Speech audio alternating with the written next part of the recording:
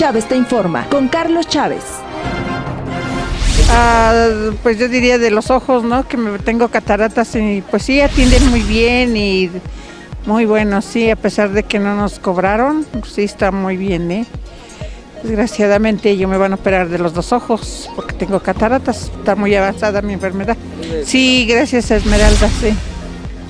Yo la comí, yo la vine a ver y sí, sí, fue cierto, ¿verdad? Porque pues ya ahorita ya que me evaluaran y sí. No, pues que esté excelente y ojalá llegue a más programas porque pues, a veces no se entera uno, ¿verdad? Pues sí se entera uno. Hola, sí, mira, te comento que hoy fuimos a la ciudad de Puebla con Fundación Debli a llevar unas personas con cataratas, carnosidad y retina.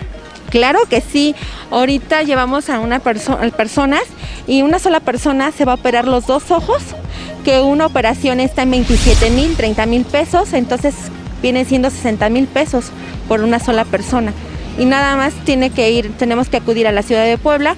Ahorita la operación no va a ser por lo que estamos pasando, pero ya se agendó para enero que va a ser operada a las personas. En la Regiduría de Salud, estos apoyos están abiertos totalmente, el cual también quiero hacer una invitación a las personas para auditivos. Tenemos ahorita una campaña de auditivos que se vengan a anotar, les damos información cómo es el proceso para los auditivos. Chávez te informa con Carlos Chávez.